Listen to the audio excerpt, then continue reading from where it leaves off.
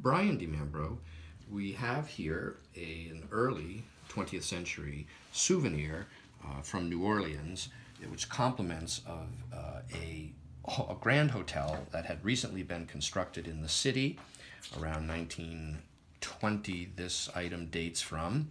There are small black and white photographs in it.